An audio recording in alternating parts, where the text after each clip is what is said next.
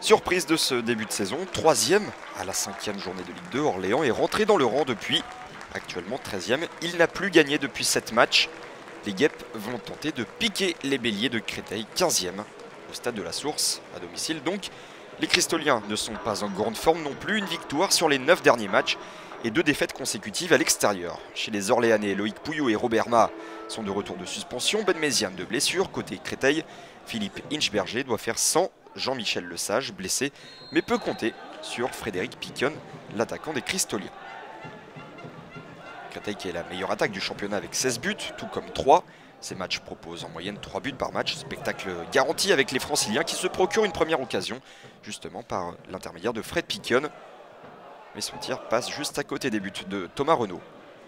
Picon, on le retrouve ici, cette fois-ci dans son camp. C'est lui qui met ce ballon en corner sur ce coup franc tiré par Loïc Pouillot. C'est la première opportunité orléanaise dans cette rencontre. Orléans qui va s'en procurer une juste après. Ce centre ne trouve pas preneur.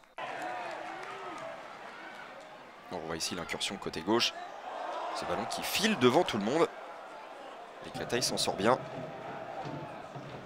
Mais Créteil l'a compris dans cette rencontre. Le danger viendra surtout du côté gauche. Un centre. La reprise de Robert Ma au premier poteau. Passe juste à côté. L'attaquant orléanais avait pris le dessus sur ses adversaires. Autour de Créteil d'avoir un semblant d'occasion, mais ce centre est bien capté par Thomas Renault. Ce sera d'ailleurs la dernière action de cette première période. 0-0 à la pause entre le promu orléanais et Créteil. Créteil qui se déplacera à Lens pour les 16e de finale de Coupe de la Ligue avant de recevoir Sochaux lors de la 13e journée de Ligue 2. Quant aux Orléanais, eux, ils se déplaceront à 3. C'est un match particulier aussi pour Olivier Frappoli, le coach orléanais a été joueur puis entraîneur de Créteil de 2001 à 2009.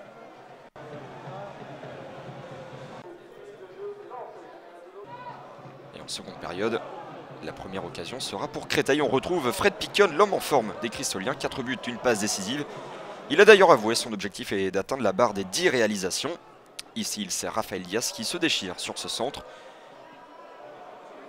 Et la phrase est bien connue, lorsque vous ne marquez pas, vous le savez, vous risquez de prendre un but derrière.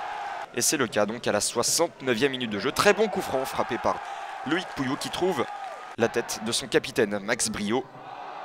1-0 donc à la 68e minute de jeu. Réaction cristolienne à la 78e sur cette tête d'Andri Yatsima. 85e minute de jeu. Faute d'Antoine Pourroy dans la surface. Et c'est un penalty donc pour Créteil, attribué par M. Guénaoui, l'arbitre de cette rencontre. Pourroy est en retard sur son adversaire. Le penalty semble donc logique. André Yatsima se présente face à Thomas Renault. Et même si le portier orléanais touche le ballon, il ne peut empêcher ce ballon de pénétrer ses cages. Et Créteil égalise donc. André Tsima qui devient du coup le meilleur buteur de Créteil avec 5 réalisations. Créteil qui a déjà perdu 9 points dans le dernier quart d'heure cette saison en glane. Un précieux aux dépens des Orléanais. même si les locaux vont mettre la pression sur les buts du portier cristolien en cette fin de rencontre, Créteil va tenir bon. Ici Mathieu Ligoul qui intercepte ce ballon mais qui se heurte à Cyril Merville, le portier de Créteil. On joue les toutes dernières minutes. Un coup franc qui est dégagé en corner ici par Fred Picon. Et justement sur le corner, c'est la dernière opportunité de cette rencontre. Merville s'en empare.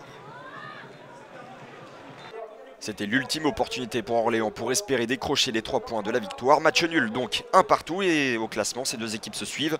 Orléans est 14e, Créteil 15e.